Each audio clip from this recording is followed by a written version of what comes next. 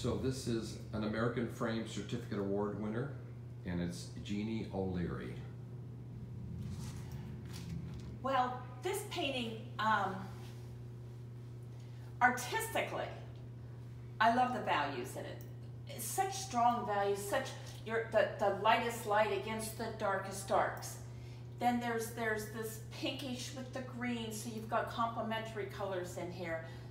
And uh, there is so much wonderful design going on in the background. In this in the digital, you couldn't see the background so much. But when I see the actual uh, image, there there's there's green light glowing from some of the windows and, and the background having all of this pattern in it actually gives a lot more depth to the painting.